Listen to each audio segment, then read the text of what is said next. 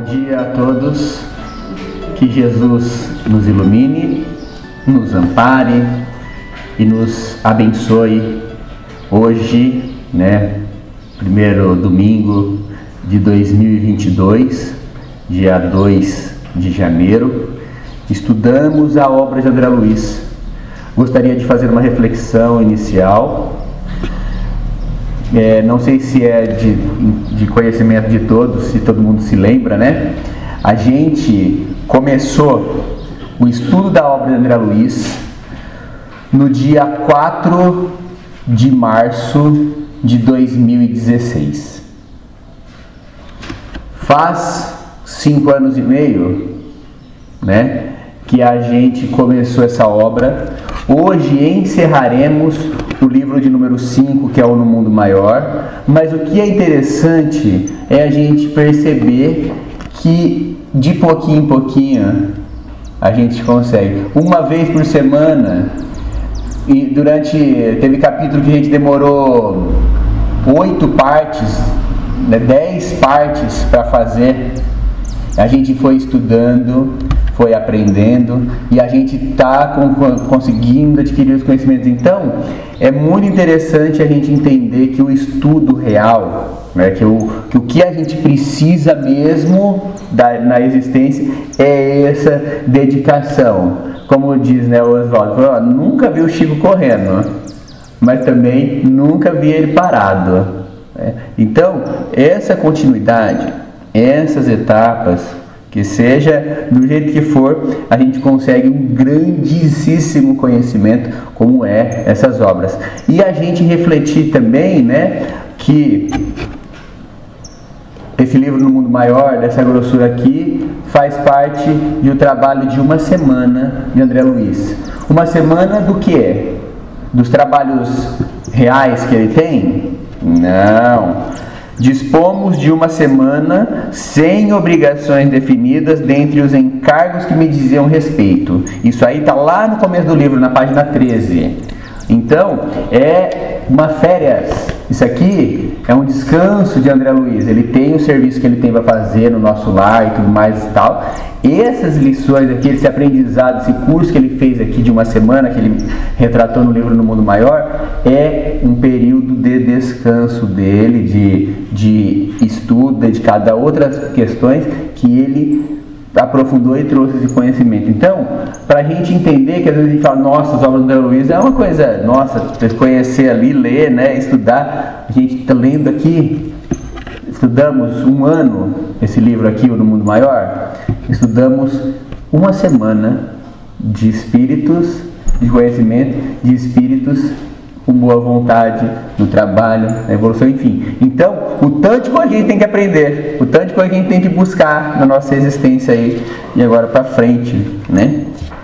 É, estudamos também sobre, conversamos aí no capítulo, no, no comecinho deste capítulo, sobre a questão de que há muitas moradas na casa do Pai, ou seja, que o lar de Cipriana, assim como a casa transitória de Fabiano, assim como o posto de socorro de Alfredo, assim como o campo da paz, assim como o nosso lar, assim como a Alvorada Nova, isso aí das coisas boas, né? Assim como as trevas, assim como as cavernas, assim como o baixo umbral, assim como, enfim, todas as questões que a gente estudou aqui, né, são pontos definidos que a gente vive dependendo do nosso estado íntimo, nosso estado vamos lá, como, tá falando, como nos mostra o livro todo, do nosso estado mental a morada que a gente vai ter de, da, da, de Deus, a casa do Pai que a gente vai habitar, vai ser aquela que está no nossa casa mental, né?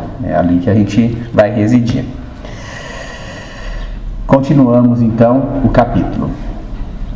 Um cavalheiro, visivelmente confortado, dizia-lhe reverente: Então ela, ah, só pra gente situar, né? Ele tava, ela entrou, a Cipriana chegou ali, né? E aí o pessoal vai chegando e vai conversando com ela, aí trocando ideia com ela.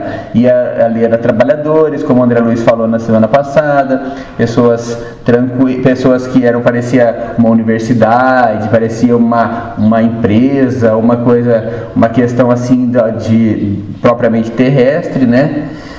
E aí e aí a gente.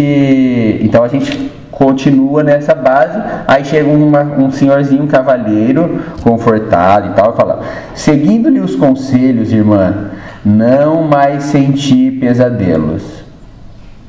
Renovei a minha atitude para com os familiares. Passei a cooperar, em vez de combater. Beleza? Certo? Vamos lá Agora sim, falou a Cipriana satisfeita.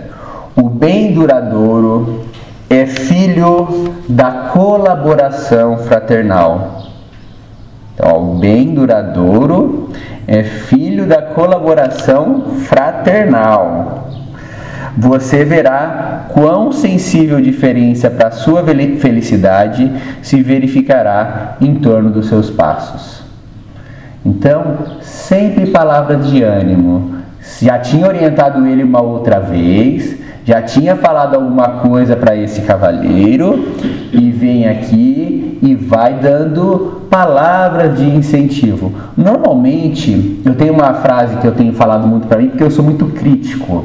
Né? Eu sou muito crítico e severo, tanto comigo, mas também com as outras pessoas. Comigo não tem problema, né? Eu preciso mesmo ficar atento nas minhas atitudes, na minha, na minha vida, enfim, né? nas minhas mudanças e tudo mais.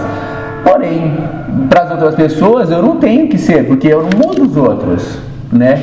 E aí eu criei uma frase para mim, né, quando eu vou pensar, né, eu vou brigar com alguém, ele está fazendo o seu melhor. Ah, o cara jogou lixo no chão, abriu o carro lá e jogou. Ele está fazendo o seu melhor na vida. Ah, o fulano de tal lá fez uma coisa errada, falou assim, eu fiquei sabendo disso. Ele está fazendo o seu melhor. Eu, tô te, eu te, ponho, essa frase na cabeça para tentar conseguir parar de julgar o outro, né? E tentar ajudar, porque não adianta, não adianta a gente excomungar, né? Não adianta, se a gente quiser auxiliar, o que, que a, a Cipriana fez com a menina lá, com a Ismênia? Primeiro perguntou, o que, que você precisa? Ganhou, conquistou a confiança, trouxe para junto e tal. Então, é uma outra forma de trabalho, é uma outra forma que você consegue adentrar o coração da pessoa, né? Não é na não é, não é na marreta, no machado que você abre o coração e entra lá, né? É com paz, é bem interessante ver essa, essa questão, né? Aí, o, enfim, nem vou, colar, nem vou comentar muito sobre as, as frases dela, porque é o que eu sempre falo. Cipriana falou, Calderaro falou, Alexandre falou, Aulus, Clarence, quem que for, né, o, o, o, espírito ali evoluído que estiver ensinando André Luiz nos livros aí, qual for, ele falou alguma coisa, para tudo e presta atenção, porque não sai nada de bobeira, né? não sai nada de que não, que não é muito bem aproveitado. Então, eu nem vou estudar muitas frases dela que ela joga para as pessoas, porque isso daí nós temos que ficar sempre atento, que é sempre é uma, é uma lição maravilhosa. Né? Aí a outra senhorinha foi lá, falou assim: ó, minha situação é outra agora. Reparo que o mundo não foi edificado para mim e que me cumpre a obrigação de trabalhar em benefício do mundo. Ou seja, talvez ela era uma, uma nobre, né? uma pessoa que tinha bastante posse, enfim, tal, se achava melhor.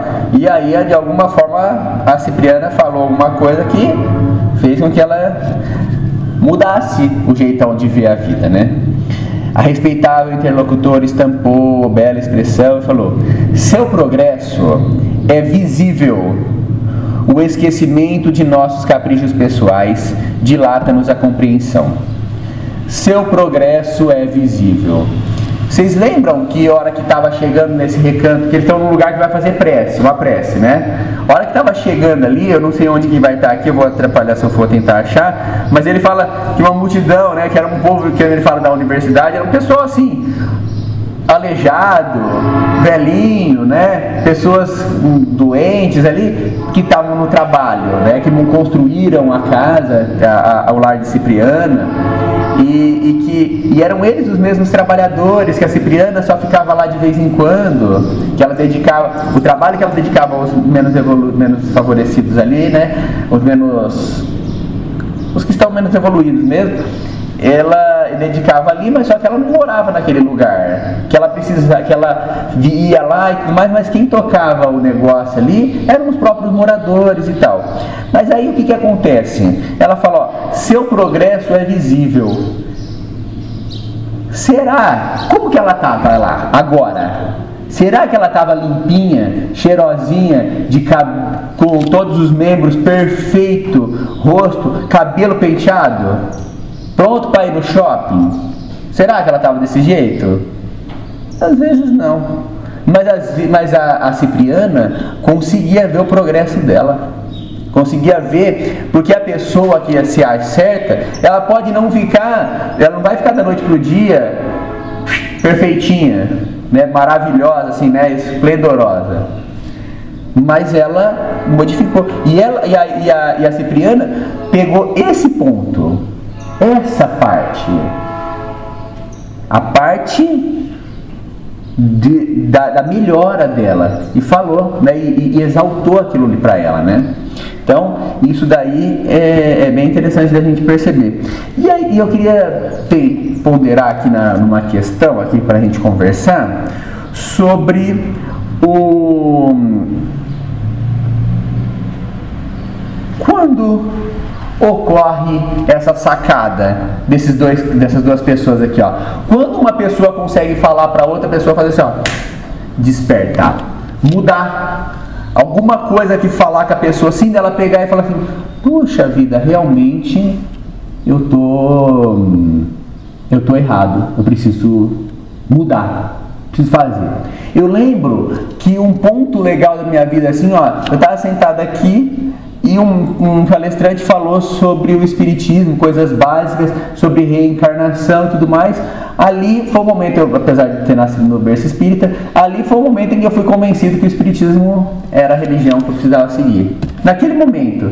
Então, é o momento certo que encaixa o negócio na cabeça da gente, né? Parece que a engrenagem está ali, separadinha, e de repente entra. O avô do André Luiz, né, com o André Luiz, enfim, as pessoas estão. Aqui qual que é o momento de que a pessoa consegue transformar a cabeça, o jeitão dela ver o mundo? E aí a Cipriana, ela, ela muda as pessoas? Não, ela vai jogando. É, assim como um livro, se a gente ler, reler esse livro aqui novamente, ou se outras pessoas fizerem o estudo, cada um vai chamar atenção para um ponto, cada um vai ter uma ideia, enfim. A Cipriana mostra, a, a, a, a situação mostra que não é as pessoas que não é, não é o espírito de luz ali que faz as pessoas mudarem, e sim a pessoa estando pronta. O espírito pode ser um instrumento ali para ajudar a reorganizar a ideia dela, mas quem muda mesmo é a pessoa. Então a gente refletir, né? Quando que ocorre essas sacadas, essa transformação? Opa, eu não quero mais. Ah, ó, eu bebi, eu fumei até ontem, hoje eu não quero, não, não quero mais isso na minha vida. Não quero mais. Não quero mais.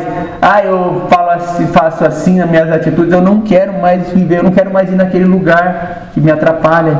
Quando que é esse ponto?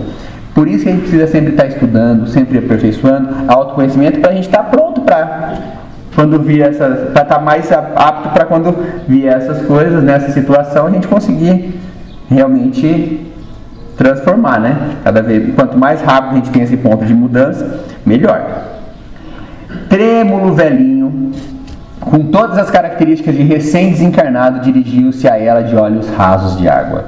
Irmã, ainda experimento ainda antigos achaques. Há instantes em que me sinto cair, perdendo a noção de mim mesmo para despertar em seguida aflito. É natural. Esteja convicto de que essa situação melhorará. Gastamos às vezes anos armazenando impressões que naturalmente não se esvaem de alguns dias, né?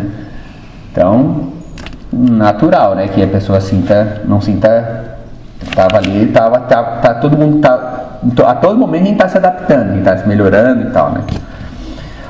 Outros companheiros se aproximavam com evidente intuito de ouvi-la, mas notando-nos a presença, veio sorridente até o André Luiz para falar para ela assim: Ó, André, o problema de nosso enfermo já foi providenciado em todas as particularidades suscetíveis de solução imediata. Então, ó, tá tudo certo do Cláudio lá, né? Cláudio já resolvemos tudo que dá. Ele vai se demorar um pouquinho no recolhimento até que se apresente condição de mudança para o nosso Instituto Regenerativo. Ou seja, como assim Instituto Regenerativo? Provavelmente o lar de Cipriana, ele deve ter várias, assim como o nosso lar existem lá os ministérios né, do auxílio, Ministério do Esclarecimento, Ministério da, da, da União Divina, né, enfim, como existem esses, esses, esses departamentos, aqui no Lar de Cipriana tem também, ele deve, devia estar lá numa UTI, num lugar ali para ele ser tratado, começar a receber o tratamento, enfim, né? E aí depois, mais para frente, ele ia para esse Instituto Regenerativo, que aí ele conseguia ia, vai, vai andando, vai progredindo, né? Como uma sala de aula, como um hospital mesmo, você vai, você, você faz a cirurgia, você vai para UTI, você vai para o quarto, enfim, né? Aí ele fala assim, ó, aqui ele se preparará convenientemente para o retorno aos círculos carnais. Convenientemente. Será que ele ia reencarnar? Ia. Ele ia reencarnar. Mas se, e se ele não tivesse ajuda, ele não ia ter o preparo conveniente, né? Ele não ia, tá, ele não ia ter condição de, talvez, essa, essa ajuda aí, esses dois, três anos que ele vai conseguir ficar ali, vai ser muito bom para ele, né? Para ele poder mudar a forma dele viver e encarar a existência, vir para a existência de uma outra forma, né? Tudo processará com a harmonia desejável Além disso, os nossos cooperadores estão instruídos quanto ao auxílio da Ismênia né, para a concretização dos seus ideais. Agradeci, rendendo graças a Deus. Nosso entendimento não se prolongou, porque o sinal da oração já se fez ali. Né? Então, Cipriana foi lá para fazer a prece, e olha que interessante: de alma genuflexa. O que, que é isso aí? Joelho ah, mas não precisa. Aí o Jefferson, né? Julgador que é, né? Fala assim, mas como assim? Prece? Pra que ficar de, ficar de joelho? Mas vai. Se a pessoa se sente bem. Se a pessoa se sente bem com um terço na mão. Se a pessoa se sente bem fazendo dez vezes a prece, a mesma prece, tudo mais, ela consegue concentrar, consegue bem. Qual é o problema? Né?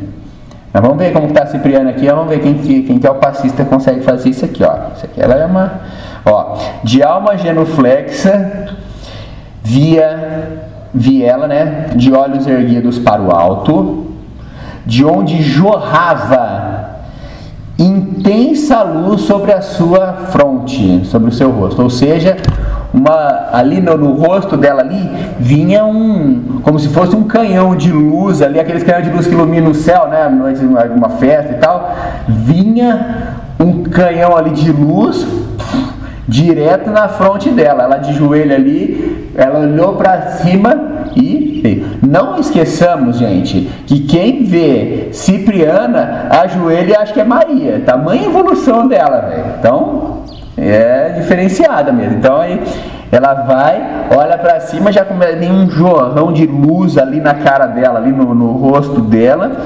E aí, aí ó, passistas, ó, todo mundo aí, ó, ó como tem que ser feito, ó, do tórax, do cérebro e das mãos brotavam radiosas emissões de força divina, da quais, da qual, das quais ela se constituía visível inter, intermediária de todos nós. Ou seja, Ela captava aquela luz divina que, a, que ninguém ali conseguia, meu, segurar aquilo, que aquilo ali era coisa assim, ó, do, da onde ela vivia, né, do padrão mental dela lá do alto. E dali, do tórax, das mãos ali, né, da onde mais? Do cérebro, enfim, iam radiando luz para todas as pessoas que estavam lá, para todos os espíritos que estavam ali em volta. Ou seja, ela era o que naquele momento? Uma médium, uma médium passista. Ela pegava a energia lá do alto e junto com as energias dela, ela dava um influxo, né? Jogava, né? Distribuía no nível, no padrão ali de cada um. E cada um recebe, recebia de acordo com, com si mesmo. Lá nós vamos lembrar, né, de Alfredo lá, né, com a, com a esposa dele lá, que agora me fugiu o nome. É Elismênia também o nome dela? Aí, então, que aí eles, pega, que eles pegavam, que ela, quando ela fazia a prece, Algumas pessoas, um tinha uma luz mais intensa, outro tinha uma luz menor, outro não tinha luz nenhuma. Chegava a, a prece dela, caía sobre todo mundo, mas em cada um vinha de um jeito diferente, chegava de um jeito diferente. Por quê? Porque cada um tinha o seu padrão, tinha a sua capacidade, tinha o seu seu merecimento, seu, seu conhecimento, seu, seu padrão mental. Ele vivia numa certa quantidade de, de numa, num, num padrão que ali vinha, vinha para ele o suficiente. Então, cada um recebia o que, o que era para si. Então, alcançados pelos fulgurantes raios que fluíam da esfera superior através da sua personalidade sublime. Isso aqui, gente, eu falo para vocês que dá uns, dá uns umas pá de hora para estudar sobre essa questão, hein? Então, passava por dentro dela através da personalidade sublime dela e nós sentíamos-nos embalados por indizível suavidade. Bom, Aí começam as crianças a cantar, vai começar a fazer a prece. Ela, isso aí ela só se preparou ainda para fazer a prece, ela nem começou, tá? ela nem começou a prece. Aí vai lá, ó. Senhor Jesus. Ela sempre, vocês vão perceber que toda a frase dela, todo o começo de prece dela, ela vai falar de um jeito de Jesus, ó. Senhor Jesus, primeiramente Permanente inspiração dos nossos caminhos, abre-nos por misericórdia, como sempre, as portas excelsas da tua proteção, da tua providência sem medidas. Tá? Doador da vida, porque apesar de Jesus não ser Deus, ele que é o coordenador da vida aqui na terra. Então, doador da vida já que o Senhor dá a vida para nós, né? Auxilia-nos a coordenar ela, acorda-nos a consciência para que a gente faça o que? ressurreição da nossa, da nossa alma dos vales sombrios da morte. Não é um renascimento mesmo, uma, uma ressurreição? A pessoa, quando ela está ali naquele charco ali, né, quando ela está como os amigos ali que fomos vendo, naquela situação horrível, e a Cipriana dá uma palavra para ela, ela está morta, entre aspas, porque ela está ali no meio do, do, do lodo, ali no meio do nada, perdendo tempo. E aí o que, que as palavras de Cipriana, de Cipriana faz? Faz com que eles renasçam, né? Tem uma ressuscitem, mesmo morto, mesmo morto consegue para sair daquela sombra onde está, né? Distribuidor do sumo bem, ajuda-nos já que o Senhor dá o bem para nós, ajuda-nos a combater o mal com as armas que nós temos dentro de nós, né, com as armas do Espírito. Príncipe da paz. O Senhor que nos dá paz, né? Não nos deixe indiferente à discórdia, que vergasta o coração de nossos companheiros sofredores. Então, sobre a indiferença, agora sobre a preguiça, ó. Mestre da sabedoria, deixa a gente longe, né? Afugenta a sensação de cansaço à frente dos serviços que devemos prestar aos nossos irmãos ignorantes emissário do amor divino, não nos conceda a paz enquanto não vencermos os monstros da guerra e do ódio, cooperando contigo em tua augusta obra terrestre. Pastor da luz imortal, fortalece-nos para que nunca nos intimidemos perante as angústias e os desesperos das trevas. Distribuidor da riqueza divina, supre-nos as mãos com os teus recursos ilimitados, para que sejamos úteis a todos os seres do caminho que ainda se sentem minguados de teus dons imperecíveis. Embaixador angélico, não nos abandones ao desejo de repousar indevidamente, né? Fora de hora, e converte-nos em teus servidores humildes, onde estivermos. O Senhor, que é o mensageiro da boa nova, não permita que os nossos ouvidos se adormeçam. Quando o coro dos soluços dos que pedem, que clamam por socorro nos círculos do sofrimento. Companheiro da eternidade, abençoa-nos a responsabilidade e os deveres que temos, não nos relegues à imperfeição de que ainda somos portadores. Dá-nos, amado Jesus, o favor de servir-te. O favor de servir-te. E que o Supremo Senhor do Universo, que é Deus, te glorifique para sempre. Assim seja. Então, é uma prece tão direta, né, orientando a gente aí para que a gente se espelhe na, e seja fortalecido nas, nos exemplos de Jesus. Né? Jesus tem tantas dessas virtudes que a gente consiga se espelhar nas virtudes dele para que a gente também consiga evoluir, né? progredir nós mesmos. Fizera-se resplandecente o recinto do santuário. Vi então, através do espesso véu de lágrimas que me assomavam os olhos, que maravilhosa coroa de brilhantes, né? É, enfim, disse, cintilou por instantes na cabeça da venerável, cabeça venerável daquela missionária do bem, que se ali fora instantaneamente colocada por mãos invisíveis. Ou seja, sabe a figura do anjo?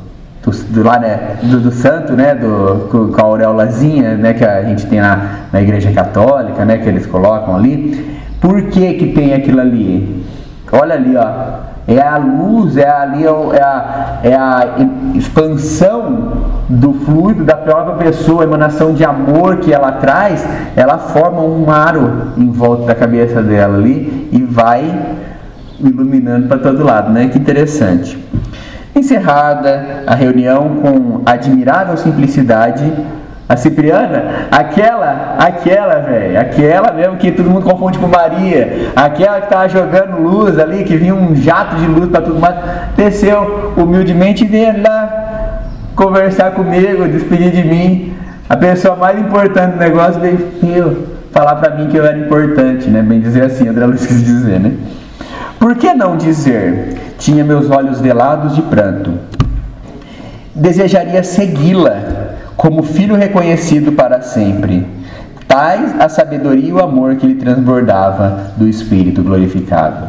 Vocês lembram no comecinho desse capítulo que ele faz uma reflexão que ele não quer nem conversar com o Calderaro, mais dúvida, mais pergunta que ele tem, porque é tanta coisa que ele aprendeu ali que ele fala assim: que, de que, que adianta eu aprender tanta coisa se eu não puder ajudar o meu avô ali que estava doente? De que, que adianta eu ter esse conhecimento, toda sabedoria toda, se a hora que chega no vamos ver, Calderaro vira para ele, como falou lá no começo do capítulo, lá no, no, lá no hospital que eles estavam, falou, não, aqui nós não podemos, nós não conseguimos mexer aqui. Aqui nós precisamos de alguém que já, já aprendeu a amar. Vamos chamar outra pessoa para vir aqui resolver isso daí, porque a gente não consegue adentrar o coração. Então, Aí ela, ele queria pedir para Cipriano, falou assim, você não tem um estágiozinho aí para eu fazer? Você não tem um lugar, um cantinho para eu trabalhar um pouquinho aí?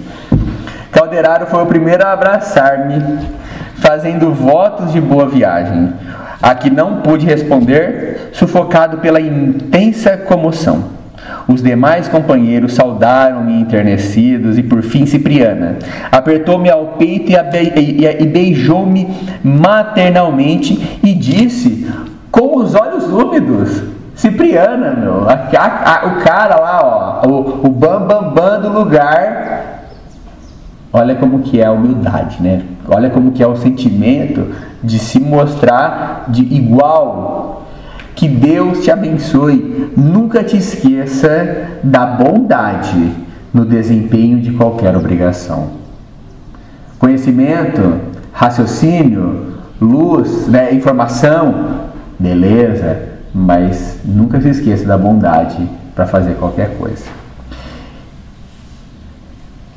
E talvez porque me visse tão fundamentalmente sensibilizado, acrescentou: estaremos unidos pelo Espírito. Desvencilhei-me de seus braços com a saudade do filho em cujo santuário interior jamais se extingue a chama da gratidão. De volta, agora aos trabalhos que me aguardavam, aí ó, já voltar, voltou para o nosso lar lá. Vamos, vamos eu, gente, ele não fala, né? Mas vamos pegar que ele ainda trabalha lá no Ministério da Regeneração, lá, no Ministério do Auxílio, lá nas câmeras de retificação. Mas a gente não sabe, ele nunca colocou aqui o, exatamente qual é o trabalho que ele faz, né? Então, solitário e comovido, aspirei os perfumes da noite clara que se povoava de prodigiosas mensagens dos astros coruscantes. Supliquei mentalmente, misericordioso Senhor, digna-te abençoar o verme que eu sou. Aqui me ocorreu uma coisa também, talvez o trabalho dele que ele estava ali naquele momento, né, os trabalhos que ele estava se preparando, estudando para fazer, seria o próprio escrever, né, pelo Chico ali, escrever, porque ele tinha que escrever os livros para depois passar para o Chico, né. Talvez era, era esse também um dos trabalhos que ele tinha de do que ele tinha que fazer de volta aos trabalhos que aguardavam ele, né tive a impressão de que o meu coração pulsava dilatado dentro do peito. Coração, mas não está morto? Mas não morreu? E coração, ar, né? Interessante. Então, sabendo que o perispírito é um reflexo do corpo físico e tem coração, tem cérebro, tem braço. Por que, que teria braço e não teria coração? Né? A gente vê ele como informe. Por que, que ele teria, teria olho, teria cabelo e não teria coração? Não teria cérebro? Tudo tem a mesma função, né? À frente dos meus olhos faiscavam constelações indicando o glorioso destino, no futuro infindável, e ponderando em silêncio a grandeza de Deus, verti copioso pranto de júbilo, dando guarida às intraduzíveis sensações que me invadiam a alma, extasiada e feliz, sob nova esperança. E é isso aí. E o nosso sentimento também de gratidão eterna, de alegria muito grande pelas obras de André Luiz, né, por, pelo André Luiz, por Cipriana, Calderaro e tantos irmãos aqui, ó, né, com, em dificuldade, que os seus exemplos nos serviram para nos ensinar, para nos mostrar um, um caminho. A gratidão a Chico Xavier, a todos os irmãos aí, ó, todo mundo que foi responsável por essa, por ter, sermos possível, né? A FEB, enfim, né? Todas as, as pessoas que são responsáveis por trazer para a gente essas leituras, esses, esses conhecimentos tão grandes que nos aclaram, que nos orientam. Todo mundo, cada um com sua capacidade, cada um no seu estado evolutivo, mas todo mundo fazendo o melhor para a cooperação da, da instalação da paz no mundo, né? Que Jesus nos abençoe e a semana que vem a Mari começa a introdução do livro Libertação, com, se não me engano, com a história do peixinho vermelho. Certo? Obrigado e fiquem com Deus.